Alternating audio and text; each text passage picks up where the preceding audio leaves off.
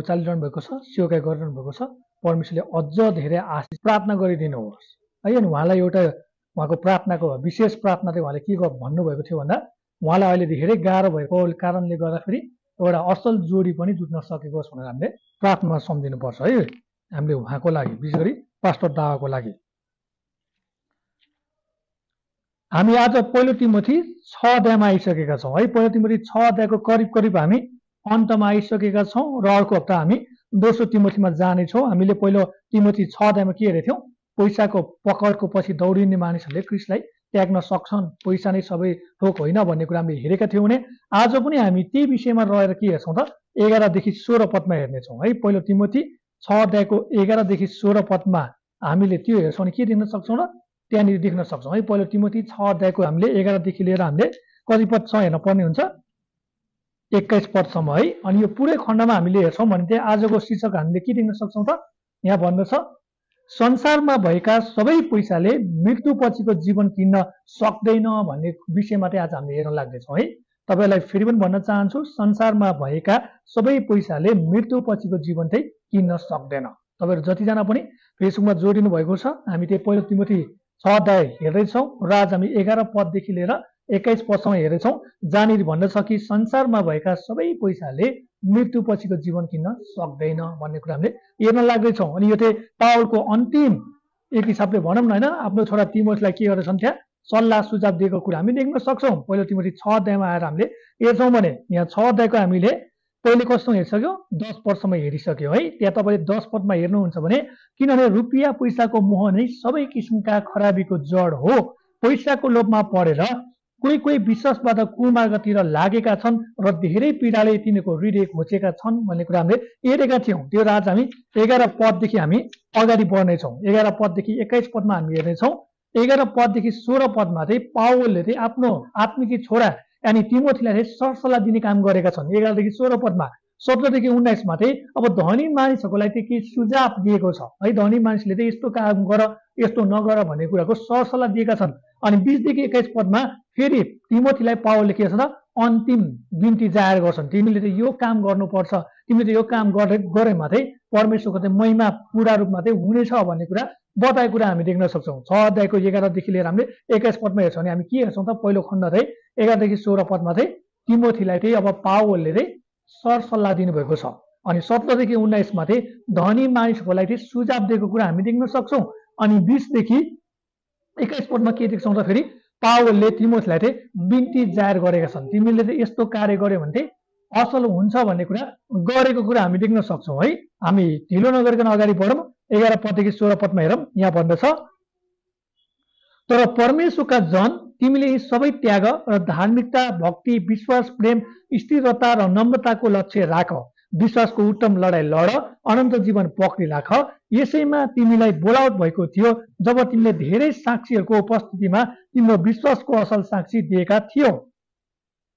सबै थोकलाई जीवन दिनुहुने परमेश्वर र पन्टियस पिलातसको अगाडि असल गवाई दिनुहुने क्रिस यसुको सामने म तिमीलाई आदेश दिनछु कि प्रभु यसु क्रिस देखा नपरुन्जेल यस आज्ञालाई कलङ्क र अपवादबाट अलग राख। अनि धन्य र सर्वोच्च राजाको महाराजा प्रभुका महाप्रभुले उचित समयमा क्रिस्टको आगमनलाई प्रकट गर्नुहुनेछ। उहाँमा नै अमरत्व छ र उहाँ त्यस ज्योतिमा बास गर्नुहुन्छ जसको नजिक कोही जान सक्दैन। उहाँलाई कुनै मानिसले कहिले देखेको छैन न देख्न सक्छ। उहाँले नै आदर र पराक्रम सदासर्व होस्। आमेन। यस वचनमा परमेश्वरले हामीलाई आशिष दिनुभएको होस्। हामीले एघारदेखि सोह्र पदमा हेर्छौँ भने पावलले तिमीहरूलाई के गर्दछ? सल्लाह दिइरहेको कुरा हामी देख्न सक्छौँ। तपाईँले हेर्नुहुन्छ भने एघार पदमा के भन्छ हेर्नुहोस् त? तर परमेश्वरका जन होइन? परमेश्वरका जन भनेर के भन्छन् पावले? तिमीले यी सबै के हेर त? त्याग भन्दैछ।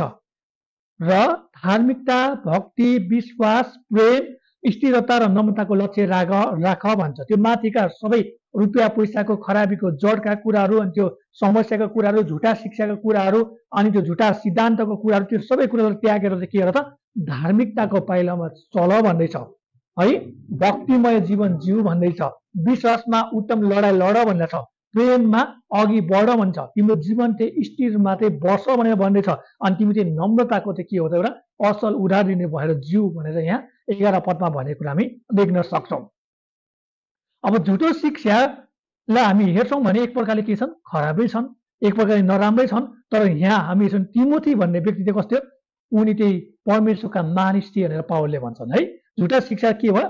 झुटा शिक्षा त त्यतिकै खत्तम भयो तर तिमोथी भन्ने व्यक्ति जवान पास्टर हुनुहुन्थ्यो उहाँ चाहिँ कस्तो हुनुहुन्थ्यो भन्दा उहाँ चाहिँ परमेश्वरको मानिस हुनुहुन्थ्यो म्यान अफ गड भनेर चाहिँ भनेको कुरा हामी देख्न सक्छौँ। त्यो एउटा परमेश्वरले तिमोथीलाई के गर्नुभयो त? एउटा भनौँ न होइन? त्यो मण्डलीको लागि एउटा दुध जस्तो भएर उहाँले त्यो नियुक्त गर्नुभयो छान्नुभयो भन्छ। त्यो मण्डलीलाई चलाउनको लागि चाहिँ उहाँले त्यो ठाउँमा चाहिँ नियुक्त गरेर चाहिँ तिमोथीलाई राखिदिनु भयो भन्छ। अनि तिमोथी भन्ने व्यक्ति चाहिँ परमेश्वरका मानिस थियो अनि जसलाई परमेश्वरले नियुक्त गर्नुभयो अनि परमेश्वरको मानिसले चाहिँ सबै खराबीको कुरा चाहिँ के हुन्छ हटाउनुपर्छ। सबै दुष्टताको कुराबाट चाहिँ अलग रहनुपर्छ भन्ने कुरा चाहिँ पावलले तिमोथीलाई चाहिँ यहाँ विशेष गरी शिक्षा दिएको कुरा हामी देख्न सक्छौँ। अनि पावलले के भन्छ? तिमी चाहिँ सबै खराबीबाट टाढा रह। तिमी चाहिँ सबै दुष्टताबाट चाहिँ टाढा रह। अनि तिमी चाहिँ अनि त्यही भएर तिमीले एउटा असल उदाहरणको जीवन जिएर देखाउनु पर्छ त्यही भएर मैले यो पत्र चाहिँ तिमीलाई विशेष गरी लेखेको हो। अब तिमी जिएर मात्र तिमी टाढा भएर मात्र तिमी अलग भएर मात्र पुग्दैन तिम्रो आफ्नो मण्डललाई पनि तिमीले के गर्नुपर्छ यी शिक्षाहरू चाहिँ तिमीले दिनुपर्छ भनेर पावलले तिमीलाई बताएको कुरा हामी देख्न सक्छौँ। अनि यहाँ पावलले तिमीलाई होइन? त्यो चेतावनी मैले दिएको छैन। तर तिमीहरूलाई के भन्दछ तिमी यस्ता पापहरूबाट चाहिँ तिमी परै बस। यस्ता अधर्मबाट तिमी परै बस। अनि आफू पनि बस र आफ्नो मण्डलीका छोरा छोरीलाई पनि के गर्छ? अलग राख भनेर पावलले बताएको कुरा हामी देख्न सक्छौँ। अनि तिमीले त के गर्नुपर्छ?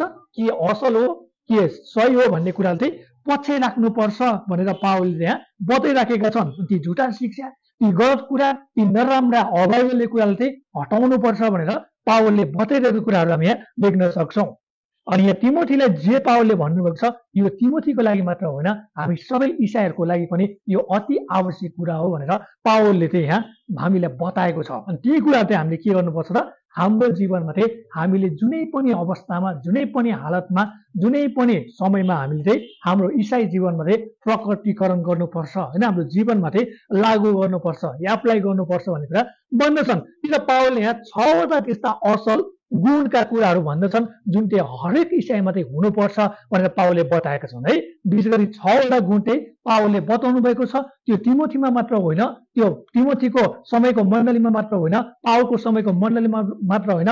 आज दुई हजार चौबिस सालभरि जति नै संसारमा मण्डली छन् ती सबै मण्डलीको लागि के छ त्यो? अति आवश्यक हो र हरेक इसाईमा चाहिँ यो असल गुण छवटा गुण चाहिँ हुनुपर्छ भन्ने कुरा पावलले बताएको कुरा हामी देख्न सक्छौँ। पहिलो कुरा हेर्नेछौँ उनीहरू के हुनु पर्यो? सही र गलत के हो भन्ने कुरा छुट्याउन सक्ने हुनु पर्यो अरे। है? उनीहरूले सधैँभरि चाहिँ के गर्नु पर्यो? उनीहरूले सधैँभरि असल र ठिक के हो भन्ने कुरालाई चाहिँ के गर्नु पर्यो उनीहरूले?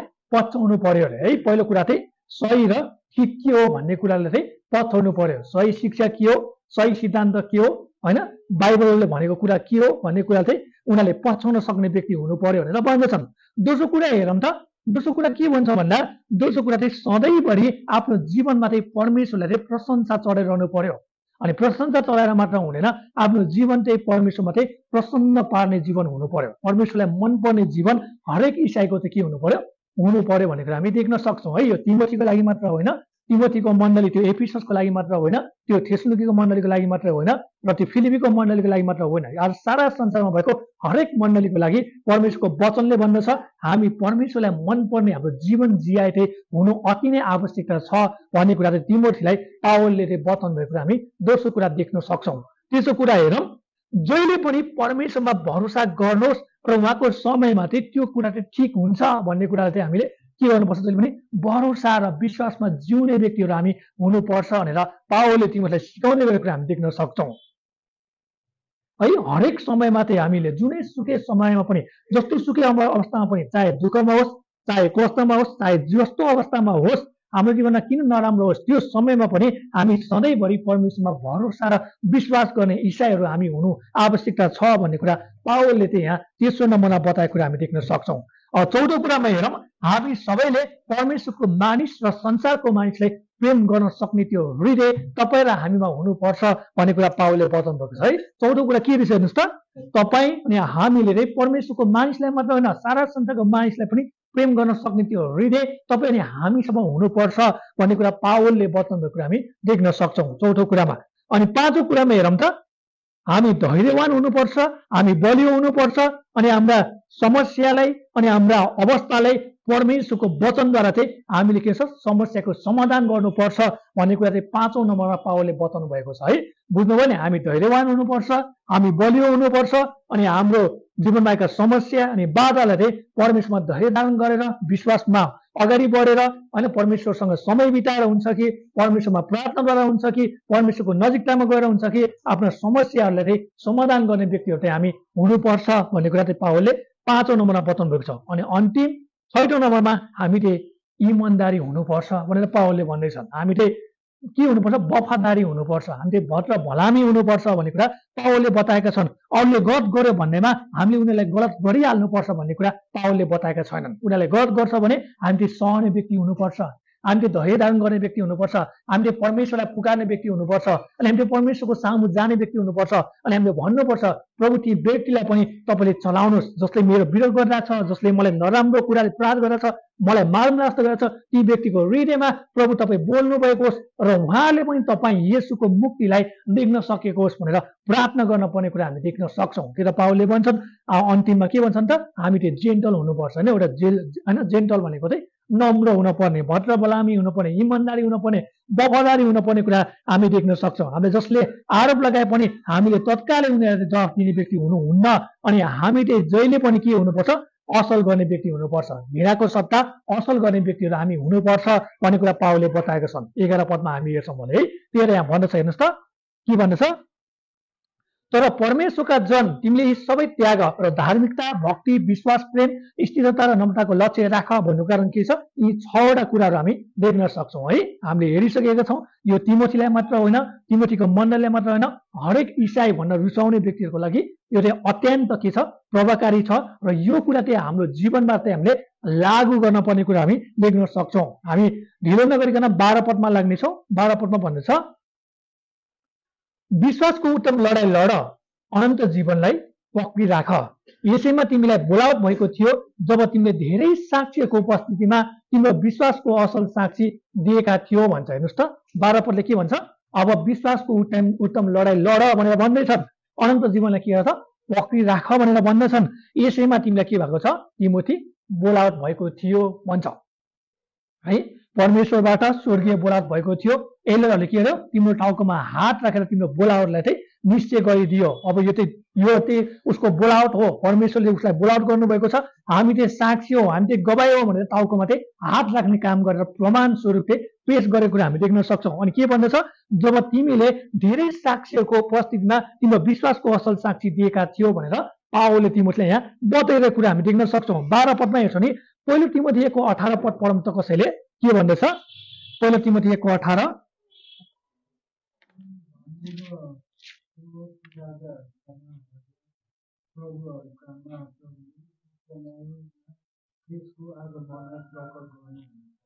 त्यो पद होइन है यहाँ पहिलो तिमोथी एकको अठारमा हेर्नु के भन्दा रहेछ यहाँ त? मेरो छोरा तिमोथी म तिमीलाई यो आज्ञा दिँदैछु कि तिम्रो सम्बन्धमा अघि कहिएको अगमबानी अनुसार तीद्वारा प्रेरणा पाएर विश्वास र असल विवेक कायम राख्दै तिमी असल लडाइँ लड्न सक भन्छ। यहाँ पावल लगायत त्यहाँ पीडित लगायत अनि एल्डरले अनि मण्डलीको अगुवाले के गरेको थियो त? त्यहाँ हामी छ तिमोथीलाई के गरेको थियो त? हात राखेर प्रार्थना गरेर अब तिमीले बोलावट भएको छ। तिमी अब सेवकाईमा यानि मिसनमा जानुपर्छ भनेर चाहिँ त्यहाँ के गरेको थियो त? इन्करेज होइन उत्साह दिएको कुरा हामी देख्न सक्छौँ। त्यही पावलले भन्दैछ कि यो चाहिँ ख्याल खालको होइन है। यो चाहिँ नपत्याएको कुरा होइन। यो चाहिँ परमेश्वरबाट हो। यो चाहिँ खुद स्वर्गका परमेश्वरले तिमीलाई नियुक्त गरेको छ तिमोथी भनेर पावलले आफ्नो आत्मिकी छोरा तिमोथीलाई चाहिँ यहाँनिर स्मरण गराएको कुरा हामी देख्न सक्छौँ। तेह्र भन्दछ विश्वासको उत्तम लडाइँ लड अनन्त जीवनलाई पक्री राख। यसैमा तिमीलाई बोलावट भएको थियो जब तिमीले धेरै साक्षीहरूको उपस्थितिमा तिम्रो विश्वासको असल साक्षी दिएका थियो भनेर भन्छ। नडराइकन होइन? सबैको सामु के अरे असल साक्षी दियो भनेर पावलले बताएको कुरा हामी देख्न सक्छौँ। अब यहाँ हामीले यसो के भन्छ हेर्नुहोस् त। यो संसारमा क्रिसको लागि जिउनु चाहिँ के हो? सङ्घर्षपूर्ण जीवन हो अरे। यो संसारमा जब तपाईँ अनि हामी क्रिसको लागि जिउँछौँ भने चाहिँ यो चाहिँ अक्सर के हो त? सङ्घर्षपूर्ण जीवन हो अरे। एकदम सङ्घर्षको जीवन चाहिँ हामीले यो संसारमा जिइरहेका छौँ। यदि तपाईँ र म क्रिसमा जिउन चाहन्छु भने यो संसारमा चाहिँ सङ्कष्ट आउँदछ भन्ने कुरा वचनले भन्दैछ। दुःख र कष्ट आउँदैछ भन्ने कुरा वचनले भन्दैछ। हामीलाई मार्न पनि सक्छ हामीलाई काट्न पनि सक्छ हामीलाई होइन? माटोमा दफन गर्न पनि होइन भनौँ हिसाबले अन्धकारको शक्तिले त्यो काम गर्न सक्छ भन्ने कुरा परमेश्वरको वचनले भन्दैछ। तर हाम्रो जीवन के छ एउटा सङ्घर्षको जीवन हो। तर कहिले पनि नआत्यौँ। क्रिसको बाटोलाई हेरौँ क्रिसमा भरोसा गरौँ क्रिसमा आशा गरौँ र उहाँकै लागि हामी मर्न पनि हामी के हुन्छ? तम तयार अवस्थामा रहौँ भन्ने कुरा तिमोठीलाई पावलले बताउँदै गरेको हामी देख्न सक्छौँ। अनि यो जीवन चाहिँ सजिलो जीवन छैन। यो जीवन चाहिँ सहजको जीवन छैन। यो जीवन चाहिँ कठिनको जीवन छ यो जीवन चाहिँ गाह्रो जीवन छ यो जीवन चाहिँ सङ्घर्ष होइन? सङ्घर्षको जीवन हो होइन? यो जीवन चाहिँ के छ? एकदम कठिनाइको जीवन हो भन्ने कुरा पावलले तिमीलाई बताएका छन्। अनि क्रिसमा संसारको लागि जिउनु भनेको चाहिँ जहिले पनि सङ्घर्षको जीवन हो अनि यो चाहिँ अक्सर आउँदछ भन्ने कुरा पावलले बताउनु भएको छ। अनि तिमीलाई पावलले भनेछ कि तिमी क्रिसको सुसमाचारको खातिर तिमी सटावटमा पाउनुपर्छ भनेर पावलले तिमीलाई भन्दैछ है?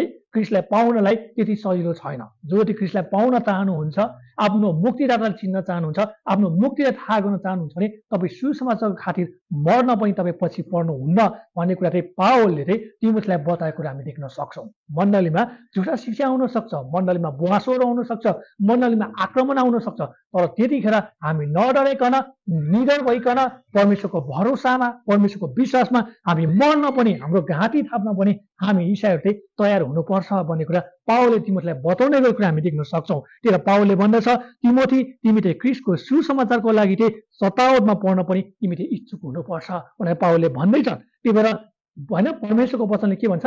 इसाईहरू चाहिँ यदि परमेश्वरमा भक्तिमय जीवन जिउन चाहन्छ भने उनीहरूले सतावटको बाटो भएर चाहिँ जानुपर्छ भन्ने कुरा तिमोथीलाई चाहिँ पावलले बताएको कुरा हामी देख्न सक्छौँ।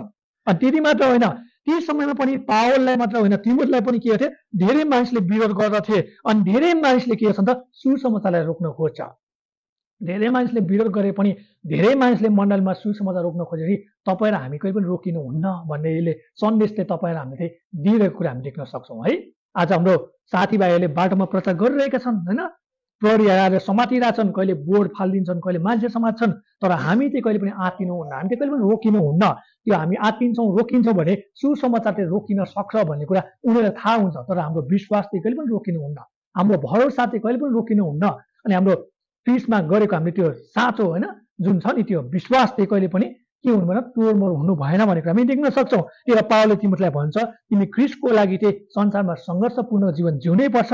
तिमी क्रिसको सुसमाचार खातिर मर्न पनि तयार हुनुपर्छ सतावटमा पर्नै पर्छ। तिम्रो विरोध गरे पनि तिम्रो सुसमाचार रोके पनि तिमी कहिले पनि के गर्नुहुन्न डराउनुहुन्न तिमी कहिले पनि पछि पर्नुहुन्न तिमी संसारको कुरालाई बिर्सेर तिमी क्रिसको कुरामा चाहिँ अघि लाग्नुपर्छ भनेर पावलले बाह्र पदमा होइन तिमीलाई बताएको कुरा हामी देख्न सक्छौँ।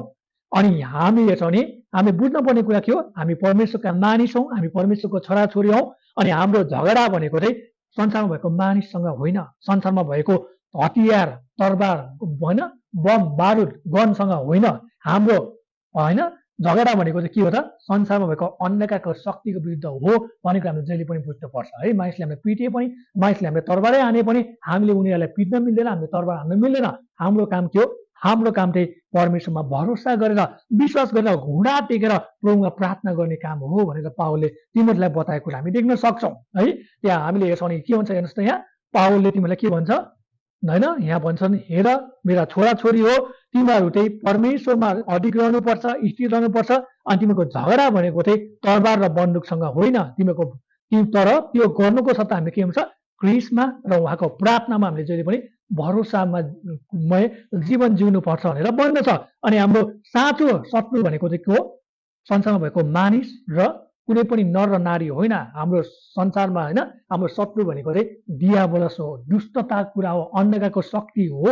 अनि त्यो चाहिँ जहिले पनि के गर्छ र सैतानले चाहिँ हामीलाई चाहिँ विश्वासमा चाहिँ गिराउनुको लागि चाहिँ जहिले पनि त्यो पठाउने काम गर्दछ त्यो र हामीले संसारमा मानिसलाई चाहिँ कहिले पनि सैतान भन्दैनौँ है दुष्ट आत्मा भन्दैनौँ दियापुरुष भन्दैनौँ तर उनीहरूलाई जुन शक्तिले प्रयोग गरेको छ त्यही व्यक्तिलाई होइन त्यही शक्तिलाई हामी के गर्छौँ त विशेष गरी यो अन्डकाको शक्ति हो भन्ने कुरा हामीले पहिचान गर्नुपर्छ अनि हाम्रो प्रार्थनाद्वारा चाहिँ हामीले के गर्न सक्छौँ तिनीहरूमाथि चाहिँ अतिक्रमण गर्न सक्छौँ होइन एपिडी छको दसदेखि सत्रमा हेर्छ भने आत्मिक हात हतियार चाहिँ उठाओ परमेश्वरको वचन हो भन्ने कुरा हामी थाहा गर्न सक्छौँ। अनि त्यति मात्र होइन पावले तिमीलाई के भन्दछ हेर्नुहोस् त फेरि बाह्र पदमा तिमीले चाहिँ असल लडाइँ लड भन्छ। तिमीले विश्वासको लडाइँ लड भन्छ। हेर्नुहोस् त यहाँ विश्वासको उत्तम लडाइँ लड भन्ने शब्द भेट्नुभयो। भेट्नुभयो नि पावलले तिमीलाई के भन्छ? तिमी चाहिँ अब असल लडाइँ लड भन्छ। तिम्रो जीवन चाहिँ सङ्घर्षपूर्ण छ। अनि तिमी चाहिँ परमेश्वर र परमेश्वरको सुसमाचारको लागि तिमी लड्नुपर्छ भनेर पावलले भन्दैछ। अनि त्यति मात्र होइन अनि जब सुसमाचार चाहिँ सारा संसारभरि छरिन्छ दुष्टता चाहिँ आफसी आफ के हुन्छ सेलाएर जाँदछ भन्दछ। परमेश्वरको सुसन्देश परमेश्वरको सुसमाचार चाहिँ संसारभरि फैलिएर जान्छ भने दुष्टता चाहिँ आफै आफ बिस्तारै सेलाउँदै जान्छ भन्ने कुरा पावलले भन्दैछ। त्यो हामीले प्रार्थनाद्वारा हामीले परमेश्वरमा भरोसाद्वारा परमेश्वरमा विश्वासद्वारा तपाईँ अनि हामी चाहिँ बढ्नुपर्ने कुरा पावलले बताएको कुरा हामी देख्न सक्छौँ। है त्यही भएर हेर्नुहोस् त सुसमाचार जब होइन संसारमा बढ्दछ अन्धकारको शक्ति के हुन्छ? आफै त्यो कोल्याप्स हुन्छ होइन? हराउँदै जान्छ भन्ने कुरा हामी देख्न सक्छौँ। त्यो चाहिँ के हो? परमेश्वरमा भरोसा गरेर अनि परमेश्वरमा सङ्घर्षमय जीवन जिएर अनि परमेश्वरमा चाहिँ उत्तम लडाइँ लडेर त्यो विश्वासको उत्तम लडाइँ लडेर चाहिँ हामीले चाहिँ अन्धकारको शक्तिमाथि चाहिँ राज्य गर्न सक्छौँ भन्ने कुरा चाहिँ पावलले आफ्नो छोरा तिमोथीलाई अनि त्यहाँ भएका एफिसका मण्डललाई त्यहाँ भएका थेस्लोकीका मण्डललाई अनि तिमीले जहाँ जहाँ गएर सिउता गरे ती मण्डललाई के गर्छन् सिकाउँदै गरेको कुरा हामी देख्न सक्छौँ। हो आज हाम्रो मण्डलीलाई पनि हामीले सिकाउन पर्ने कुरा यही हो। है हाम्रो जीवनमा निराश आउला हाम्रो जीवनमा होइन हरेस आउला हाम्रो जीवनमा विभिन्न समस्या आउला तर हामी कहिले पनि रोकिनुहुन्न परमेश्वरको सुसमाचार चाहे बाहनामा होस् चाहे जेसुकै अवस्थामा होस् हामीले प्रचार गर्न चाहिँ कहिले पनि छोड्नुहुन्न किनकि यदि हामीले सुसमाचार प्रचार गरेनौँ भने हामीले के छ धिकार छ भनेर पावल आफैले बताउनु भएको कुरा हामी देख्न सक्छौँ है? त्यो सुसमाचारमा त के छ परमेश्वरको शक्ति छ परमेश्वरको राज्य छ परमेश्वरको अधिकार छ अनि यो चाहिँ परमेश्वरले तपाईँ अनि हामीलाई चाहिँ दिनुभएको अधिकार हो। सारा संसारमा गएर सुसमाचार प्रचार गर भनेर भने भन्नुभएको कुरा हामी देख्न सक्छौँ किनकि समस्त स्वर्ग र पृथ्वीको अधिकार चाहिँ क्रिसलाई आफ्नो पिताले दिनुभएको थियो भनेर मतीमा होइन? हामीले देख्न सक्छौँ। त्यही पावलले तिमीलाई भन्दैछ विश्वासको उत्तम लडाइँ लड अनन्त जीवनले चाहिँ पक्रिराख मर्नु परे पनि विश्वासको उत्तम लडाइँ लड्न कहिले पनि नछोड। मर्नु परे पनि तिमी के नर्थ अनन्त जीवनलाई नत्याग भनेर पावलले तिमीहरूलाई बताएको कुरा हामी देख्न सक्छौँ। त्यही कारण गर्दा यहाँ पावलले के भन्छ? त्यही भएर परमेश्वरले के भन्नुभयो? तिमीलाई यो कठिन कार्य दिनुभयो। अब तिम्रो काम के हो? मरेको आत्मालाई चाहिँ क्रिसमा ल्याउने हो। अनि तिमीले यस्तो एउटा जीवन पाएको छ त्यो जीवन चाहिँ कहिले पनि सकिँदैन। त्यो जीवन चाहिँ कहिले पनि नाशवान हुँदैन। चाहे बन्दुकले आनुहोस् चाहे तरबारले आनुहोस् चाहे बम बारुदले आनुहोस् चाहे गोलाबारुदले आनुहोस् जेसुकैले आनुहोस् तिम्रो त्यो जीवनलाई त्यो होइन तिमीले पाएको जीवनलाई कसैले पनि नष्ट गर्न सक्दैन। त्यो जीवन हो? अनन्त जीवन हो भनेर परमेश्वरले यहाँ बताउनु भएको हामी देख्न सक्छौँ। अनि पावलले फेरि तिमीलाई के भन्छ? तिमी चाहिँ अब विश्वासमा चाहिँ कडा रूपमा बस भनेर भन्दैछ। अनि तिमीले चाहिँ भविष्यलाई आफ्नो आशा नबनेकन वर्तमान अवस्थामा कसरी जिउने त्यो कुरालाई निहालेर तिमीले अब विश्वासमा चाहिँ उत्तम लडाइँ लड। जतिखेर पनि तिम्रो जीवनमा सङ्घर्ष आउन सक्छ जतिखेर पनि तिम्रो जीवनमा सटाउट आउन सक्छ जतिखेर खेर पनि तिम्रो जीवनमा आक्रमण हुन सक्छ। अनि त्यतिखेर चाहिँ म भविष्यको आशालाई हेरेर बाँच्ने व्यक्ति हुँ भनेर कहिले पनि कल्पना नगर। वर्तमान अवस्थामा म कसरी जिउनुपर्छ? मैले मेरो मनलाई कसरी हुर्काउनुपर्छ? मैले मेरो मनलाई कसरी आत्मा अगाडि बढाउनुपर्छ? त्यो कुरालाई हेरेर चाहिँ तिमी विश्वासमा चाहिँ उत्तम लडाइँ लड भनेर पावलले चाहिँ यहाँ बताएको कुरा हामी देख्न सक्छौँ। है? यहाँ तपाईँले पहिलो तिमथी एक अध्यायको सोह्र पद पढिदिनुहोस् त कसैले त्यहाँ?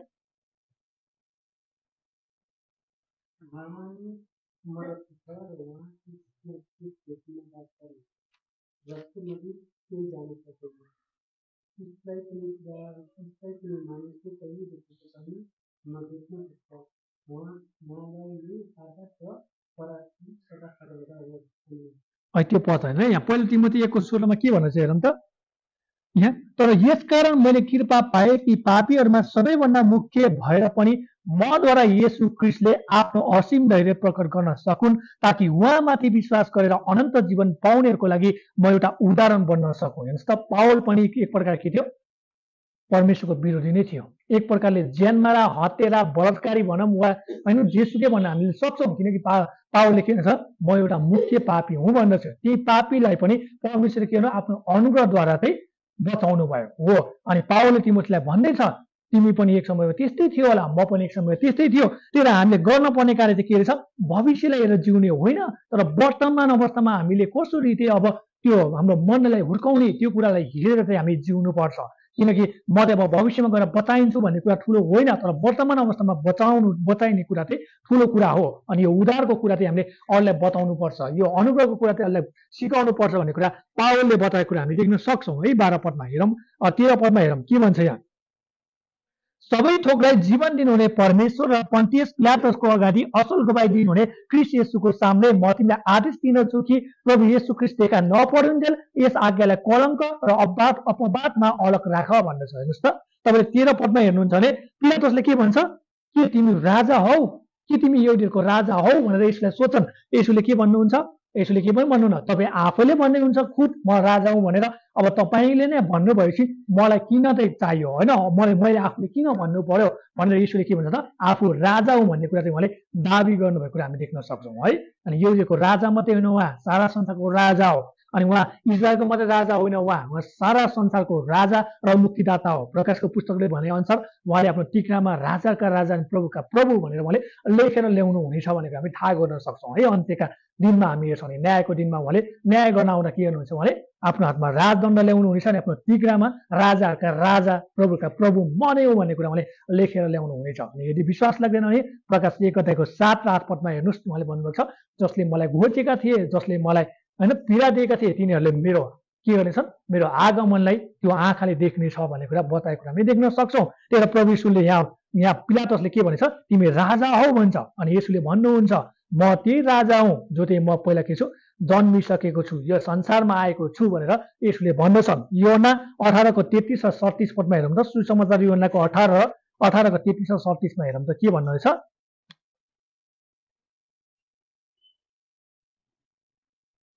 रहेछ योना अठारको कति भने मैले?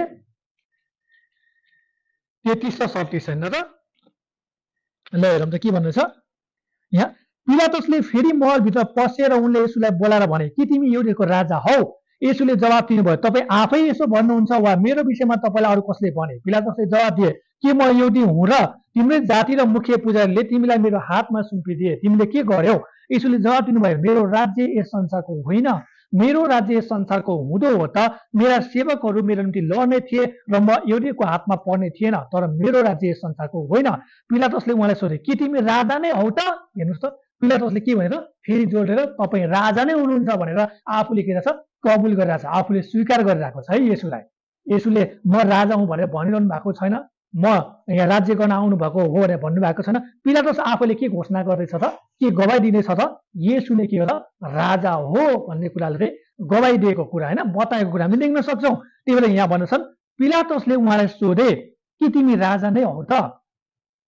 यसुले जवाब दिनुभयो म राजा हुँ भनी तपाईँ नै भन्नुहुन्छ। यसैको निम्ति म जन्मेको हुँ र यसैको निम्ति सत्यको गवाई दिन म यस संसारमा आएको हुँ। प्रत्येक जो सत्यको पक्षमा छ त्यसले मेरो स्वर सुन्छ हेर्नुहोस् त कति राम्रो जवाब प्रभु यीशुले दिनुभएको छ। के तिमी राजा हो? भन्दा के भन्नुभयो? उहाँले म राजा हुँ भने के भन्छ? तपाईँ आफै भन्नुहुन्छ। अरू कसैको पनि?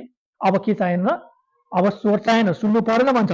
यसैको निम्ति म के हुँ? जन्मेको हुँ। यसैको निम्ति सत्यको गवाई दिन म के हुँ त? यस संसारमा आएको हुँ अनि प्रत्येक जो सत्यको पक्षमा लाग्छ त्यसले मेरो स्वर सुन्छ भन्ने कुरा यहाँ प्रविशुले बताएको कुरा हामी देख्न सक्छौँ। त्यही यहाँ चौध पदमा हेर्नुहोस् यहाँ तेह्र पदमा सबै थोकलाई जीवन दिनुहुने परमेश्वर र पन्तेस पिलातसको अगाडि असल गवाई दिनुहुने कृषि यसुको सामने भन्नुको कारण त्यही हो। यसुले चाहिँ के गर्नु भएको रहेछ? यो संसारलाई चाहिँ आफू चाहिँ राजा हुँ भन्ने कुरा प्रकट गर्न आउनु भएको रहेछ। सत्यको पक्षमा लाग्नेहरूलाई आफ्नो स्वर होइन आफ्नो वचनद्वारा जीवन दिन आउनु भएको भन्ने कुरा हामी थाहा गर्न सक्छौँ। अब हामी चौध पदमा हेरौँ है। चौध पदमा के भन्छ? पहिलो तिमीले छ अध्यायको चौध पदमा म तिमीलाई आदेश दिँदछु कि प्रभु येसु क्रिस्ट देखा नपरुन्जेल यस आज्ञालाई कलङ्क र अपवादबाट अलग राख भन्छ है। हेर्नुहोस् त यहाँ तपाईँले चौध पदमा आएर हेर्नुहुन्छ भने के हुन्छ? तिमोथीलाई चाहिँ अब आदेश दिएको छ। अनि त्यो आदेश चाहिँ परमेश्वरबाट थियो। अनि त्यो आदेशले के भन्छ? पावलले चाहिँ भन्दछ कि तिमोथी तिमीलाई चाहिँ परमेश्वर र तिमीलाई चाहिँ के छ? एल्डरहरूले चाहिँ हात राखेर प्रार्थना गरिसकेको छ।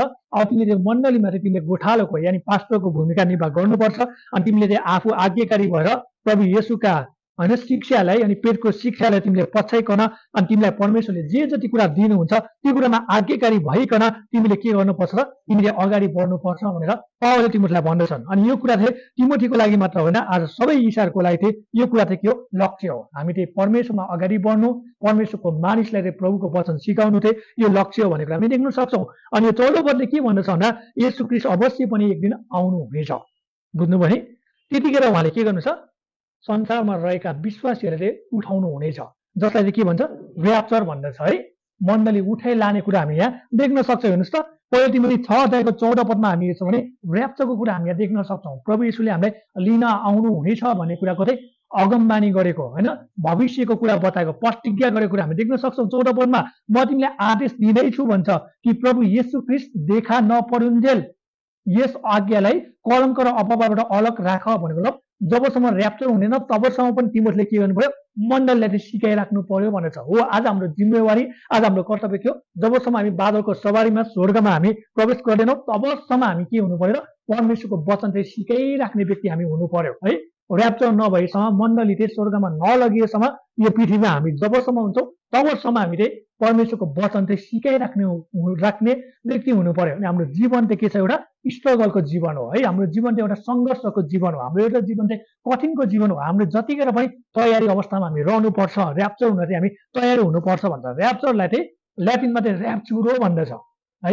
ग्रिकमा चाहिँ हार्पाजो भन्दछ अनि यसलाई कटअप पनि भन्दछ एबप पनि भन्दछ है? हामीले हेर्छौँ भने अनि यो यस्तो शब्द हो जुन शब्द चाहिँ खोसिएर लाने भन्ने हामी देख्न सक्छौँ। अनि परमेश्वरले चाहिँ बादलको सवारीमा आएर हामीलाई के हुन्छ ध्यान टर्यान गरेर होइन मैले चाहिँ मण्डलले लिएर जानुहुन्छ भनेको अब यो चर्चलाई लिएर जाने भनेको मतलब यो भवन लाने भनेको होइन यहाँ भवनमा भएको विश्वासीहरू के हो? मण्डली हो। है क्रिसको शरीरलाई चाहिँ प्रतिनिधित्व गर्दछ जसले यसुमा मुक्ति पाएको छ। ती व्यक्तिहरू जहाँ भेला हुन्छन् त्यो नै के हो? मण्डली हो। त्यो चाहिँ कुनै पनि ठुलो रड हालेको ठुलो बिल्डिङ हालेको होइन पाँच तला छ तला भएको भवनहरू होइन। त्यो किन चाहे झुप्रो नहोस् किन त्यो बाटोमै होइन बसेर सङ्गठित नगरेको त्यो चाहिँ क्रिसले रगतले किनिएका होइन भनौँ न एक हिसाबले परमेश्वरका छोराछोरीको के थियो समूहलाई होइन? जसले आराधना गर्दछ त्यो नै मण्डली हो। यो कुरा हामीले बुझ्नु छ। तपाईँ हामी जहाँ भेला भयो त्यो नै मण्डली हो। हामीलाई कुनै पनि ठुलो भवनको आवश्यकता छैन। कुनै पनि त्यो पार्टी मलको आवश्यकता छैन होइन? त्यो खतरा खतरा भवनको आवश्यकता छैन। हामीले बुझ्नुपर्ने कुरा के हो? मण्डली तपाईँ अनि हामीले हो। त्यो यहाँ परमेश्वरले भन्दै हुनुहुन्छ। यहाँ हेर्नुहोस् त यहाँ पावलले के भनेछ तिमीलाई क्रिस देखा नपरुन्जेल तिमीले त्यो कलङ्क र अपवादलाई चाहिँ अलग राख। त्यस्ता झुटा शिक्षालाई गलत शिक्षालाई अनि त्यस्ता बुवासोहरूलाई चाहिँ मण्डलीमा चाहिँ किन गर आउन नदेऊ। तिम्रो जीवनमा तिमीले सङ्घर्ष ल्याउन सक्छ गाह्रो अवस्था बनाउन सक्छ होसियार भएर बस भनेर बताएको कुरा हामी देख्न सक्छौँ। त्यो यहाँ चौरो हेर्छौँ भने प्रभु यसो एक दिन अवश्य आउनुहुनेछ मण्डललाई उठाउनु हुनेछ अनि मरेकाहरूलाई पनि उहाँले बौडी उठाउनु हुनेछ है प्रभु यसो भन्दै भन्दै जति पनि मरेका छन् ती व्यक्तिहरू पनि के हुन्छन्? एक दिन यसुमा बौडी उठ्नु हुनेछ भनेको हामी देख्न सक्छौँ है? उहाँहरूको शरीर मरे पनि आत्मा मरेको हुन्न त्यो आत्मा पनि के हुनेछ त? हामीभन्दा अगाडि जति पनि अहिले मर्नु भएको छ क्रिसमा उहाँको आत्मा पनि के हुनेछ एक दिन प्रभु येसु बादलको सवारीमा आउँदै गर्दा त्यो आत्मा पनि के हुनेछ? जराक्क जुरुक्क लाएर उठ्नेछन् भन्ने कुरा हामी देख्न सक्छौँ है? तपाईँले हेर्छन् त्यो पहिलो पुनरुत्थान दोस्रो पुनरुत्थानको कुराहरू पहिलो कोरन्ती पन्ध्र अध्यायमा भेट्न सक्नुहुन्छ। हामीले त्यहाँ देख्न सक्छौँ। तेह्र पावलले के भन्छ त यहाँ तिमोतीलाई अनि तिमीले परमेश्वरको वचनको अनुसार चल हामी असफल भए पनि हामीले परमेश्वरलाई क्षमा माग्छौँ भने परमेश्वरले हामीलाई क्षमा दिनुहुन्छ अनि हाम्रो हरेक गलत कुराबाट उहाँले हामीलाई हरेक दोषारोपणबाट उहाँले हामीलाई मुक्त गर्नुहुनेछ। अनि यदि हामी मुक्त भएनौँ भने हामी असफलमा गिरिरह्यौँ भने हामीले क्षमा मागेनौँ भने हामीले ख्रिसलाई चाहिँ के गर्नुपर्नेछ? हाम्रा लेखा चाहिँ दिनुपर्छ। अनि यदि लेखा दिँदै गर्दा चाहिँ हामी अपराधी ठड्यौँ भने हामी चाहिँ भनौँ एक हिसाबले गल्तीमा ठड्यौँ भने अनि हामीले क्रिसमा बाँचेनौँ भने हाम्रो अवस्था के हुनेछ? नरकको लागि चाहिँ हाम्रो लागि चाहिँ तयार हुन्छ। त्यही हामी अहिले समय उनीहरूले हाम्रा पाप हाम्रा अधर्म हाम्रा दोषारोपण चाहिँ क्रिसमा राखौँ र क्रिसलाई बनाऊ। प्रभु मेरो पाप मेरो अधर्म मेरो दोषलाई मेटाइदिनुहोस् र म चाहिँ तपाईँलाई मुक्तिदाता भनेर चिन्न चाहन्छु म तपाईँले भनेको अनुसार जीवन जिउन चाहन्छु अनि तपाईँले लिन आउँदै गर्दा म चाहिँ दोष मुक्त हुन सकौँ र म चाहिँ तपाईँको अगाडि चाहिँ मेरो होइन लेखाजोखा गर्न सक्ने व्यक्ति चाहिँ म हुन सकौँ है भन्ने कुरा हामी देख्न सक्छौँ। किनकि यसमा मुक्ति पाएका व्यक्तिहरू यसमा क्षमा पाएका व्यक्तिहरूले चाहिँ दोषको त के छैन त्यहाँनिर दण्ड छैन। यो कुरा हामीले बुझ्नुपर्छ। हो इसाहरूको लागि ती के छ त इनाम घुम्न सक्ला होइन? मुकुट घुम्न सक्ला तर मुक्ति त घुम्दैन। त्यही भएर हामीले विचार गर्नुपर्ने कुरा के हो? हामी समय हुँदा नै क्रिसमा आउँछौँ। क्रिसमा हामीले क्षमा माग्छौँ भने क्रिसले हामीलाई वास्ता गर्नुहुनेछ हामीलाई फिक्री गर्नुहुनेछ। हाम्रा पापका दागहरू पापका मैलाहरू अधर्मका वस्त्रहरू उहाँले के गर्नुहुन्छ? हटाउनु हुनेछ उहाँको पवित्र रगतले पखाल्नु हुनेछ हामीलाई शुद्ध बनाउनु हुनेछ हामीलाई पवित्रकरण गर्नुहुनेछ अनि उहाँले हामीलाई लिन आउनको लागि तयारी हुनुहुनेछ भन्ने कुरा हामी देख्न सक्छौँ। तेह्र पावलले भन्दछ जबसम्म क्रिसको आगमन हुँदैन यानि दोस्रो आगमन होइन ऱ्याप्चर हुँदैन तबसम्म तिमीले के गर्नुपर्छ यो शिक्षा थामी राख है। यो सिद्धान्तमा चाहिँ चलिराख है। यो कुरा चाहिँ तैँले मण्डलीमा सिका है भनेर चाहिँ पावलले तिमीहरूलाई बताएको हामी देख्न सक्छौँ है। पावलले तिमीहरूलाई बताउँदै गरेको हामी देख्न सक्छौँ। हामी पन्ध्र पदमा हेरौँ यहाँ पन्ध्र पदले के भन्छ हेर्नुहोस् त। अनि धन्य र सर्वोच्च राजाहरूको महाराजा प्रभुका महाप्रभुले उचित समयमा क्रिस्टको आगमनलाई प्रकट गर्नुहुनेछ भनेर हामी देख्न सक्छौँ। तपाईँले पढ्न पदमा हेर्नुहुन्छ भने परमेश्वरमाथि पहिले योजना थियो उहाँको आफ्नो पुत्र यीशुलाई यो संसारमा पठाउने।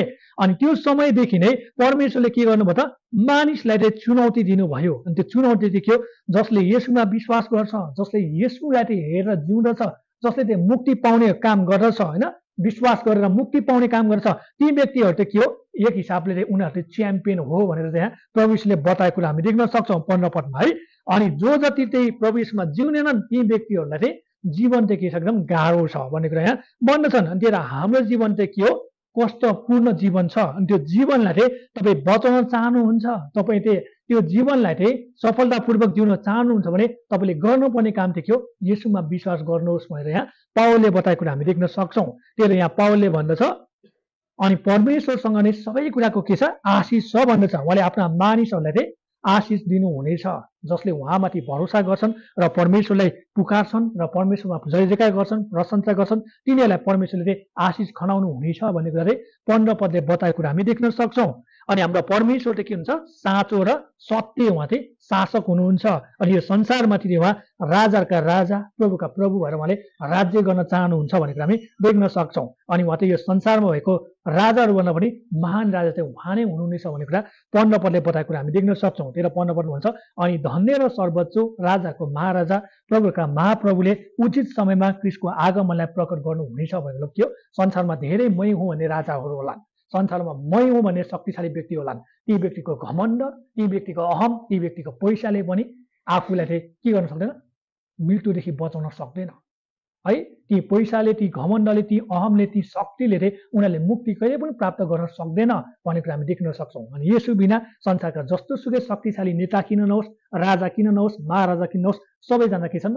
खोक्रो छन् रित्तो छन्। अनि त्यो पैसा त्यो शक्ति होइन? भनौँ न त्यो हिसाबले त्यो अधिकारले चाहिँ मुक्तिलाई चाहिँ कहिले पनि किन्न सक्दैन र प्राप्त गर्न सक्दैन भन्ने कुरा चाहिँ प्रभु येसुले चाहिँ यहाँ तिमोथीलाई चाहिँ पावलद्वारा चाहिँ त्यो पवित्र आत्माद्वारा चाहिँ बताएको कुरा हामी देख्न सक्छौँ। पढ्न पढ्न त्यही कुरा भन्दछ। सोह्र पदमा हेरौँ। उहाँमा नै अमर त छ र उहाँ त्यस चोटिमा बास गर्नुहुन्छ जसको नजिक कोही जान सक्दैन। उहाँलाई कुनै मानिसले कहिले देखेको छैन। न देख्न सक्छ। उहाँलाई नै आदर र पराक्रम सदा सदा होस्। आमेन भन्छ। सोह्र पदमा हेर्नुहुन्छ भने हाम्रो परमेश्वर के हुनुहुन्छ? आत्मामा हुनुहुन्छ। हाम्रो परमेश्वर के हुन्छ अदृश्य हुनुहुन्छ अनि हाम्रो परमेश्वरले हामीले देख्नु भएको छ हाम्रो कुरा सुन्नु भएको छ हामीले परमेश्वरलाई देखेका छैनौँ हामीले हाम्रो परमेश्वरको कुरालाई हामी के गर्न सक्दैनौँ हामी त्यहाँनिर हामीले भनौँ एक हिसाबले अनुभव गर्न पनि कहिलेकाहीँ सक्दैनौँ है तर हामीले सुन्न सक्छौँ। त्यही भएर हामीले हेर्छौँ हाम्रो परमेश्वरले आत्मा हुनुहुन्छ हाम्रो परमेश्वर चाहिँ अदृश्य हुनुहुन्छ अनि हाम्रो परमेश्वरले चाहिँ कसले पनि देख्न सक्दैन। एकचोटि मोसाले हेर्ने चाहना गरेका थिए परमेश्वरले के गर्नुभयो? त मोसा म एकदम पवित्र छु तिमी पापी हौ अनि पवित्रताको अगाडि पाप थिए के हुँदैन त? कहिले पनि तुलना गर्न सकिँदैन। त्यो पवित्रताको अगाडि पाप भन्ने कुरा चाहिँ कहिले पनि पवित्रताको ठाउँमा त्यो पाप चाहिँ आउन सक्दैन। त्यो तिमी चाहिँ यदि मेरो अनुहार हेर्छौ भने तिमी चाहिँ के हुनेछौ? त्यतिखेर नै राख हुनेछौ। त्यतिखेर नै तिमी चाहिँ खरानी हुनेछौ। तिमी चाहिँ मर्नु पर्नेछ भनेर परमेश्वरले भन्नुभएको छ मलाई पुस्तकले भन्छ परमेश्वर यति पवित्र हुनुहुन्छ कि पाप उहाँको अगाडि टिक्न सक्दैन। त्यही कारण गर्दा सारा संसार पापमा परेको कारणले गर्दा यसु क्रिस्टलाई पठाउनुको कारण के हो त? त्यो पापको कारणले गर्दा हो। ताकि सबै मानिसले के छ पापबाट अधर्मबाट चाहिँ क्षमा पाओस् मुक्ति पाओस् उद्धार पाओस् र मरे पछाडि आफ्नो आत्मालाई स्वर्गमा लान सकोस् र परमेश्वरसँग राज्य गर्न सकोस् भन्ने उहाँको योजना थियो भनेर हामी देख्न सक्छौँ। अनि मोसाले पनि चाहना गरेको थियो। प्रस्थानको पुस्तकमा तपाईँले हेर्नुहुन्छ भने प्रस्थान तेत्तिसको अठारदेखि तेइसमा पढ्नुहुन्छ भने तपाईँले त्यहाँ एउटा घटना देख्न सक्नुहुन्छ जहाँ मोसाले परमेश्वरको रूप हेर्न चाहेका थिए। परमेश्वरको अनुहार हेर्न चाहेका थिए। अनि मोसालाई परमेश्वरले के भन्छ?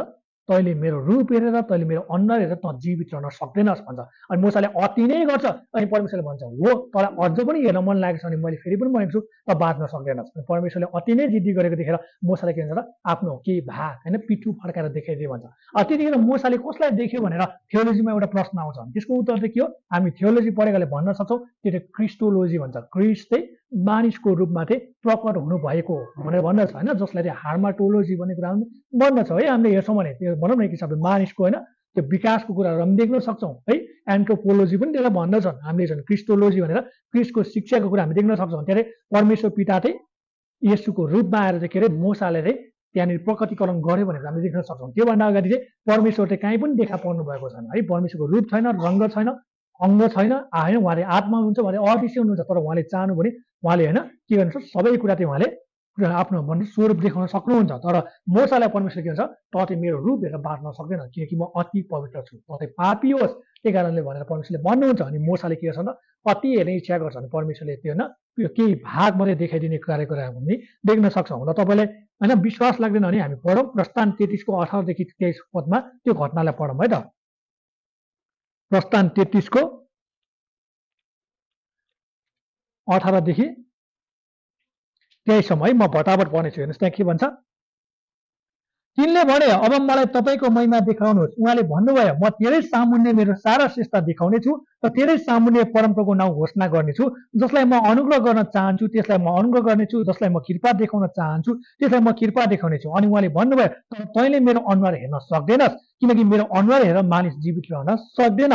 तब परम्पराले भन्नुभयो मेरो छेउमा एउटा ठाउँ छ जहाँ त एउटा चट्टानमा खडा हो। मेरो महिमा त्यहाँबाट भएर जाँदा तँलाई म त्यस चट्टानको ढाँडोमा राख्नेछु र म त्यहाँबाट भएर नआउन्जेल तँलाई मेरो हातले छोपिराख्नेछु। त्यसपछि म मेरो हात उठाउनेछु र तैँले मेरो पछिको भाग देख्नेछस् तर मेरो अनुहार चाहिँ देखिने छैन भन्नु कारण त्यही नै हो है। त्यहाँनिर हेरौँ त पिता परमेश्वरको रूपलाई होइन अनुहारलाई त्यो महिमालाई चाहिँ के गर्न सकेन? मोसाले देख्न सकेनन्। अनि जब मोसाले त्यो पछाडिको भाग छोपे मोसा डरले लाजले के भएर घुम्टो ओढे भन्दछ है। अनि त्यो मोसाले ओढेको घुम्टो चाहिँ नयाँ कुरामा आएर के छ त क्रिसले चाहिँ उगारिदिनु भयो भन्दछ है। अनि मोसाले चाहिँ तपाईँ र मलाई चाहिँ व्यवस्थाको कुरालाई मात्रै जोड दिएका छन् है। तर यसुले चाहिँ जीवनको कुरालाई जोड दिनुभयो अनुग्रहको कुरालाई जोड दिनुभयो है। सत्यताको कुरालाई प्रकट गर्यो। मोसाको कुरा सुन्छौँ भने हामी सबै नरकमा जानको लागि योग्यका थियौँ। तर यसुको कुराले गर्दा हामी के भएको छौँ? वास्तवमा हामीले मुक्ति पाएका छौँ। हामीले त्यो अनुग्रह थाहा गर्न सकेछौँ त्यो सत्यतामा जिउन सकेका छौँ त्यो प्रकाश हाम्रो वरिपरि नै हामीले चम्किएको देख्न सक्छौँ भनेर हामी थाहा गर्न सक्छौँ है। हामीले हेर्छौँ भने यहाँ विशेष गरी बुझ्नुभयो भने हामीले हेर्छौँ भने है अनि तपाईँले हेर्नुहोस् यहाँनिर के भन्छ यहाँ सोह्र पदमा तपाईँले हेर्नुहुन्छ भने उहाँमा नै अम्बरको छ र उहाँ त्यसचोटिमा बास गर्नुहुन्छ जसको नजिक कोही जान सक्दैन। उहाँलाई कुनै मानिसले कहिले देखेको छैन न देख्न सक्छ। उहाँले नै आदर र पराक्रम सदासँग होस् आमेन भनेको छन्। अनि यहाँ शक्तिको कुरा देख्न सक्नुहुन्छ बलको कुरा देख्न सक्नुहुन्छ। यो सबै परमेश्वरको हो र यसले के कुरालाई बताउँछ भन्दा परमेश्वर चाहिँ के हुनुहुन्छ त? परमेश्वरको चाहिँ यो गुण हो यो चाहिँ चरित्र हो होइन क्यारेक्टर अफ गड भन्छ। थियोलोजीमा चाहिँ एट्रिब्युट्स अफ गड भन्दछ है। परमेश्वरको त्यो अनि भनौँ एक हिसाबले त्यो हामीसँग मानिससँग होइन सार्न मिल्ने गुण र सार्न नमिल्ने गुण भन्छ कम्युनिकेबल र नन कम्युनिकेबल भनेर तपाईँले थियोलोजीमा पढ्न सक्नुहुन्छ है। त्यहाँनिर परमेश्वरको चरित्रको बारेमा हेर्नुहुन्छ भने त्यही हामीले यहाँ है हामीले सोह्र पदमा हेर्छौँ के देख्न सक्छौँ यहाँ? सोह्र पदमा हामी त्यही कुराहरू देख्न सक्छौँ है यहाँ। अनि यहाँ हेर्नुहोस् त हामी के देख्न सक्छौँ त त्यसपछि मोसाले त्यो कुरा देख्न सकेन। त्यो एउटा मानिसलाई परमेश्वरले कहिले पनि देख्न सकेन भन्छ। तर यो एकको अठारमा हामी हेर्छौँ भने हामीले परमेश्वरलाई देख्न नसकेका कारणले गर्दा अनि परमेश्वर चाहिँ यसु भएर चाहिँ यो संसारमा आउनुभयो अब हामी चाहिँ उहाँलाई देख्न सक्छौँ। यसु जस्तै हो परमेश्वर पनि त्यस्तै हो। यसु जस्तो हुनुहुन्छ परमेश्वर पनि त्यस्तै हुनुहुन्छ भनेर हामी देख्न सक्छौँ। अनि त्यहाँ यसु प्रभु आउनुहुनेछ अनि उहाँले संसारमा भएका सबै कुरालाई परिवर्तन गर्नुहुनेछ अनि जसले उहाँलाई देखेन ती सबैले उहाँलाई देख्नुहुनेछ भनेर पहिले योना तिनको दुईले भन्दछ। अनि उहाँमा जिउने उहाँलाई विश्वास गर्नेले चाहिँ होइन के अरे पितामा के देखिन्छ? क्रिस देख्नेछ र उनीहरू चाहिँ अब जिउने छन् र उनीहरू चाहिँ अब मर्ने छैनन् भनेको हामी देख्न सक्छौँ। अनि जुन पितासँग थियो त्यो क्रिससँग पनि त्यही के छ त? स्वरूप छ। है? त्यही के छ त? बानी बेहोरा छ। त्यही स्वभाव छ त्यही चरित्र छ त्यही गुण छ त्यही विशेषता छ भन्ने कुरा हामी देख्न सक्छौँ। अनि उहाँको आदर भन्ने कुरा तपाईँले भेट्नु होला अन्तिममा। पराक्रम भन्ने कुरा भेट्नु होला। शक्ति भन्ने कुरा भेट्नु होला। यो सबै के हो त? परमेश्वरको चाहिँ चरित्रको बारेमा चाहिँ यहाँ के छ? बताएको कुरा हामी देख्न सक्छौँ। हामी ढिलो नगरिकन सत्र पदमा लागौँ। सत्र पदमा भन्छ यस संसारका धनीहरूलाई घमण्डी नहुने आज्ञा देऊ र अनिश्चित सम्पत्ति होइन तर हामीलाई हरेक थोक प्रशस्तसँग उपयोग गर्न दिनुहुने परमेश्वरमाथि तिनीहरूले आशा राखुन् भन्छ। हेर्नुहोस् अब सत्र पददेखि लिएर मैले बताएको छु कि तपाईँलाई अठार होइन उन्नाइस पदसम्म के छ? धनी मान्छेको लागि चाहिँ सल्लाह छ सुझाव छ। धनले चाहिँ मुक्ति कमाउन सक्दैन। धनले चाहिँ स्वर्ग लाँदैन। धनले चाहिँ हामीलाई पापबाट चाहिँ क्षमा दिन सक्दैन भन्ने कुरा त्यसले बताएका छन्। अनि धनमा धनी मान्छेको धनले चाहिँ मानिसलाई चाहिँ कहिले पनि बचाउन सक्दैन है। मानव तपाईँसँग एउटा रोग लागेको छ अरे तपाईँसँग थुप्रो धन होला। तर अन्तिम समयमा तपाईँ हस्पिटल पुग्नुभयो तपाईँले अरबौँ खर्च गर्नुभयो तर तपाईँ बाँच्न सक्नु भएन भने तपाईँको धन त्यो काम लाग्यो? अवश्य लागेन। तपाईँ के गर्नु? मर्नुभयो। तपाईँ मरेपछि कहाँ जानुहुन्छ? अब पक्कै पनि नरक जानुहुन्छ। तर तपाईँले त्यो पैसाको मतलब नगरिकन हो मलाई यतिखेर म यसै मर्ने म उसै मर्ने तर मलाई मुक्तिदाताको खाँचो छ म यसुलाई चिन्न चाहन्छु भनेर तपाईँले यसुलाई ग्रहण गर्नुभयो भने तपाईँ के हुनुहुन्छ?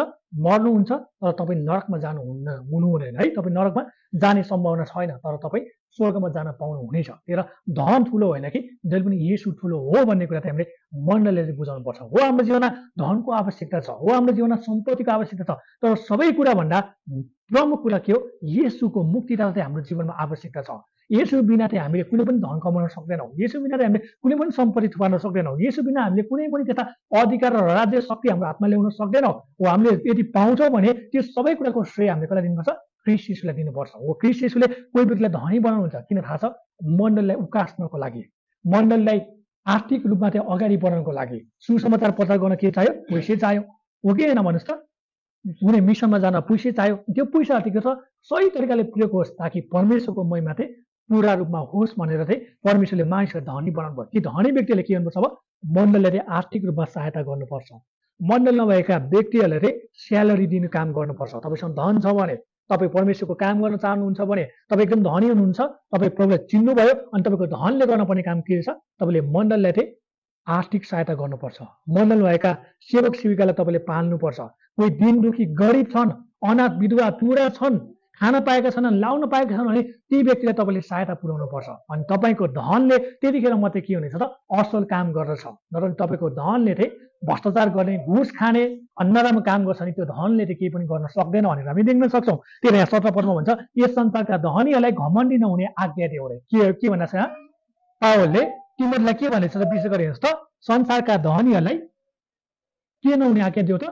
घमण्डी नहुने आज्ञा दियो नदियो होइन? आज्ञा दियो भन्छ। र अनिश्चित सम्पत्ति होइन तर हामीलाई हरेक थोक प्रश्नसँग उपयोग गर्न दिनुहुने परमेश्वरमाथि तिनीहरूले के गर्दा आशा राखुन् भन्दछ हेर्नुहोस् त हामीले हेर्छौँ भने सत्र पदलाई हेरौँ है हामी छिटो गरेर जानेछौँ। यहाँ सत्र पदमा भन्छ जो धनी हुने इच्छा गर्दछ नि तिनीहरूलाई के हुनेछ? खतरा हुनेछ भन्छ। तिनीहरूले चाहिँ डेन्जर भन्छ डरलाग्दो हुनेछ भन्दछ।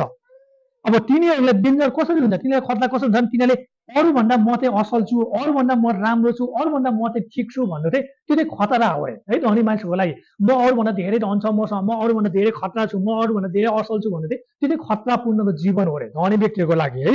त्यही भएर उनीहरूले के गर्छन् जहिले पनि धनलाई सम्पत्तिलाई मात्रै ख्याल गर्छ र अनि संसारमा म जस्तो श्रेष्ठ म जस्तो उत्तम म जस्तो खतरा व्यक्ति भन्ने कुरामा घमण्ड गर्छ अरे अनि उनीहरूले चाहिँ जहिले पनि के गर्छन् रे अरूलाई गिराउने काम गर्छन् रे उनीहरूले पाएको मान सम्मान आदर इज्जतलाई चाहिँ जहिले पनि के गर्छ त मक्ख पर्ने काम गर्छ अरे बुझ्नुभयो नि है? अनि पदमा भन्न खोजेको कुरा हामी हेर्छौँ भने अनि तिनीहरूले चाहिँ आफूले कमाएको कुरामा भर पर्छ अरे तर उनीहरूले कमाएको त्यो सबै कुरा छ नि प्रियहरू एक दिन के हुन्छ? छोटो समयमा त्यो सबै सम्पत्ति राख हुनेछ अनि त्यतिखेर तपाईँले हेर्नुहोस् त्यो धनले त्यो व्यक्तिलाई बचाउन सक्यो? अवश्य सकेन। त्यो धनले त्यो व्यक्तिलाई स्वर्ग लग्यो अवश्य लग्न सकेन। त्यो धनले त्यो व्यक्तिले कमाएको मान इज्जत प्रतिष्ठालाई माटोमा मिलाएको मिलाएन मिलायो। त्यही धनी मान्छेले मैले धन कमाएको छु भने कहिले पनि घमण्ड नगरोस् धनी मान्छेले मसँग धन छ भनेर अब म त्यही धनमै भर पर्नुपर्छ भने कोही पनि नगरोस् मानव मैले दस लाख कमाएर एक लाखको मैले भनौँ एक हिसाबले मोबाइल चलाएँ एक लाखको मैले होइन? खानेकुरा खाएँ एक लाखको मैले कपडा लगाएँ मैले तिन चार लाखको बाइक चढेँ भने मेरो अवस्था सधैँभरि त्यस्तै रहन्छ रहन सक्दैन। कुनै दिन म गरिब होला अनि मेरो अवस्था के हुन्छ? नाजुक हुन्छ हुँदैन हुन्छ।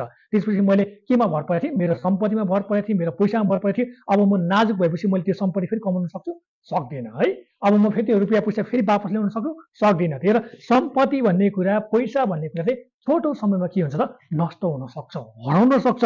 अनि त्यही भएर अनि यो होइन रुपियाँ पैसाले चाहिँ के गर्न सक्दैन? मृत्यु पछिको जीवन चाहिँ किन्न सक्दैन भन्नुको कारण यही नै हो। त्यो तिमीहरूलाई पावले के भन्छ? यस संसारका धनीहरूलाई घमण्डी नहुने आज्ञा देऊ भन्नुको कारण त्यो हो?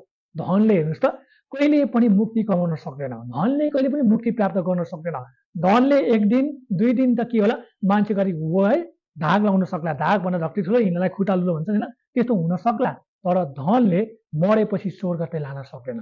अनि तपाईँ त्यो धनबाट होइन तर आफ्नो मुक्तिलाई चाहिँ कमाउन चाहनुहुन्छ आफ्नो मुक्ति प्राप्त गर्न चाहनुहुन्छ भने यसुलाई चाहिँ विश्वास गर्नुपर्छ। अनि यसलाई जब हामी विश्वास गर्छौँ यदि परमेश्वरको इच्छा भएमा हामी धनी पनि हुन सक्छौँ अनि त्यो धनले हामी के गरौँ त? पुरो दिलो ज्यानले हामीले कमाएको धन चाहिँ मण्डललाई दिने काम गरौँ। परमेश्वरमा चाहिँ दिने काम गरौँ अनि त्यो धनले त्यो सम्पत्तिले अनि त्यो आर्थिकले के हुनेछ? मण्डलीले अघि बढ्नेछ अनि ख्रिस्टको राज्य चाहिँ के हुन्छ प्रचारिनेछ मरेको आत्मा चाहिँ मण्डलीमा आउनेछ अनि दिन दुखी गरिब अनाथ र असहायलाई हामीले खुवाउन सक्छौँ। त्यसपछि चाहिँ के हुन्छ? शान्ति आउनेछ एकता आउनेछ अनि मण्डली पनि सुधित हुनेछ अनि हामी कसैको भरमा परेर जिउनु परेन। हामी परमेश्वरको भरमा अनि परमेश्वरमा आशा राख्ने र विश्वास गरेर जिउँछ भने हामीलाई कसैको पनि आवश्यकता छैन भन्ने कुरा पावलले तिमीलाई भनेका थिए। किनकि पावल आफै के छ? पाल बुन्ने व्यक्ति थियो पावल आफै आफ्नै मिहिनेत र आफ्नै परिश्रमले सियोकाइ गर्ने व्यक्ति थियो। आफ्नो खुट्टामा आफै उभिने खालको व्यक्ति पावल थिए। त्यही पावलले तिमुथीलाई यही सन्देश र यही शिक्षा दिएको कुरा हामी देख्न सक्छौँ। अनि कतिजना धनी भएर के छन् त? आफ्नो जीवनलाई चाहिँ कुमार्गतिर लगाएका छन्। लागु औषधतिर दुर्व्यसनतिर ड्रग्स खानेतिर होइन नचाहिने भनौँ न त्यो होइन? बेबिचारतिर परेर होइन विभिन्न आफ्नो सम्पत्ति घुमाएको आफ्नो जीवनै नष्ट गरेका हामी देख्न सक्छौँ। र परमेश्वरले भन्दैछ धन आवश्यकता छ धन भन्दा पनि परमेश्वर चाहिँ अति नै आवश्यक छ। अनि मुक्ति पाउनको लागि धनले चाहिँ मुक्ति किन्न सक्दैन धनले चाहिँ मुक्ति प्राप्त गर्न सक्दैन भन्ने कुरा हामी देख्न सक्छौँ। है त्यो मैले भन्नुको मतलब के छ? संसारमा भएका सबै पैसाले मृत्यु पछिको जीवन किन्न कहिले पनि सक्दैन। यो कुरा के हो? हन्ड्रेड पर्सेन्ट ठिक हो है। हामीले बुझ्नुपर्ने कुरा के छ? संसारमा भएका सबै पैसाले मृत्यु पछिको जीवन हामीले कहिले पनि किन्न सक्दैन। संसारमा भएको डनले धनले होइन बाउ किन्न सक्ला गाडी किन्न सक्ला आफन्त इष्टमित्र किन्न सक्ला तर मरेपछिको जीवन चाहिँ कहिले पनि किन्न सक्दैन। अनि यदि तपाईँ मरेपछि जीवन जिउन होइन तपाईँ किन्न चाहनुहुन्छ मरे पछाडि तपाईँको जीवन जिउन चाहनुहुन्छ नरकमा होइन स्वर्गमा जान चाहनुहुन्छ भने तपाईँको धनलाई तपाईँले केही पनि गर्न सक्नुहुन्न तर यसुमा विश्वास गर्नुहोस् यसुले तपाईँलाई के गर्नेछ र मुक्ति र उदार गरिकन पापले क्षमा गरिकन उहाँले लिन आउनुहुनेछ र तपाईँलाई स्वर्ग लानुहुनेछ भन्ने कुरा चाहिँ पावले तिमीलाई बताएको कुरा हामी देख्न सक्छौँ। हामी अब अन्तिम हेर्नेछौँ अठारदेखि लिएर हामी हेरौँ त अठारदेखिबाट हामी अगाडि बढौँ है। अठारदेखि एक्काइससम्म हामी हेरौँ। यहाँ सत्रदेखि उन्नाइसमा त्यो धनीको कुरा हामी देख्न सक्छौँ? अठार पदमा भन्छ तिनीहरूले असल कार्य गरून् र असल कामहरूमा धनी उदाचित र दानी होन्। यसरी आफ्ना सबै आफ्नै लागि भविष्यको असल जग बसाल्न सकुन् ताकि तिनीहरूले त्यो जीवन पक्रिराखुन् जो साँच्ची नै जीवन हो रुपियाँ पैसाको होइन मोहलाई त्याग्नु त्याग्नुहोस् र धनी हुने इच्छा भन्दा पनि परमेश्वरमा आत्मिक रूपमा धनी हुने त्यो इच्छा हामीले गर्नुपर्छ। हामी आत्मिक रूपमा धनी हुन्छ भने अटोमेटिक रूपमा परमेश्वरले हाम्रो इमान्दारीपनलाई देखेर हाम्रो वफादारको कुरालाई देखेर हाम्रो आज्ञाकालाई देखेर परमेश्वरले हामीलाई धनी बनाउनु हुनेछ। अनि म तपाईँलाई भन्न चाहन्छु हामी यस्तै असल तरिकाले जिउँछौँ भने हामी संसारमा भन्दा पनि धनी व्यक्तिहरू चाहिँ हामी इसाईहरू भनेर चिनिन्छौँ। तपाईँले अहिले पनि गुगलमा सर्च गर्नुहोस् संसारमा सबैभन्दा धेरै धनी व्यक्तिहरू इसाई नै तपाईँले देख्नुहुन्छ। किन थाहा छ? आज अमेरिका किन धनी भएको छ? अब्रामको आशिषले हो। अब्रामलाई मुसलमानले पनि पिता भन्छ इसाईले पनि पिता भन्छ। हेर्नुहोस् त। हो कि अनि योजीले पनि पिता भन्छ। त्यो अब्रामले के थियो? परमेश्वरले आशिष दिनुभएको थियो। तँलाई आशिष दिनेलाई म आशिष दिनेछु तैँले श्राप दिनेलाई म के हुन्छु? श्राप दिनेछु। अनि त के हुनेछ? सारा संसारको पिता हुनेछ। हेर्नुहोस् त तेरो आज अमेरिका धनी हुनुको कारण थियो? अब्रामको कारणले हो। अब्रामले के थियो? परमेश्वरको धर र भयमा जिउने व्यक्ति हो। परमेश्वरमा आज्ञाकारी हुने व्यक्ति हो। परमेश्वरलाई आफ्नो हृदयदेखि नै खोज्ने व्यक्ति हो। अनि आज हामी त्यस्तै व्यक्ति हुन्छौँ भने चाहिँ अनि आज हामी त्यस्तै व्यक्ति हुन्छौँ भने परमेश्वरले हामीले धनी तुलाउनु हुनेछ भने हामी देख्न सक्छौँ। हामी अब बिस र एक्काइस पदमा हेर्नेछौँ। तिमोथी जे तिमीलाई सुम्पिएको छ त्यो सुरक्षित राख। भक्तिन गन्थन र खण्डनहरू जो झुटो ज्ञान हो तिमीलाई परित्याग गर। यी कुराहरूको पछि लागेर कतिजना आफ्नै विश्वासको लक्ष्यबाट चुकेर गएका छन् तिमी तिमीसँग अनुग्रह रहोस् भन्छ। पावलले अन्तिम बिन्ती के गर्छन् त? तिमीलाई मैले जे शिक्षा दिएको छु त्यो शिक्षामा सामग्री राख भन्छ। त्यो भक्तिन ग्रन्थको कुराहरूमा होइन तर सत्य शिक्षामा लाग सत्य सिद्धान्तमा लाग सत्य बाइबलले कुराको अघि लाग अनि तैँले के गर्छ? आफ्नो जीवनलाई चाहिँ लक्ष्यसम्म पुरा अनि त्यो लक्ष्यबाट कोही पनि नचुक तेरो उन्नति पनि हुनेछ तेरो प्रगति पनि हुनेछ तेरो मण्डली पनि वृद्धि हुनेछ। परमेश्वरको अनुग्रह चाहिँ होइन? तिमीथि तिम्रो मण्डलीमाथि तिम्रो परिवारमाथि अनि सारा संसारको मण्डलीमाथि रहोस् भनेर पावलले बताएको कुरा हामी देख्न सक्छौँ। हुन्छ? परमेश्वरको महिमा भएको होस् हामीले पहिलो तिमोथी होइन? भनौँ न यो अध्यायसम्म पुरै सघाउन सकेका छौँ। हामी अर्को हप्ता दोस्रो तिमोथीमा जानेछौँ आउनुहोस् हामी अन्तिम प्रार्थना गर्नेछौँ। स्वर्गीय पिता हामी तपाईँलाई फेरि पनि धन्यको भन्छौँ। तपाईँको नाउँलाई महिमा चढाउँछ आदर गर्छौँ र प्रशंसा गर्छौँ प्रभु। हामीलाई तपाईँको डर र भयमा जिउन सिकाउनुहोस् धन सम्पत्तिमा होइन प्रभु तपाईँ यसुमा आत्मिक धनी हुन तपाईँलाई सिकाउनुहोस्।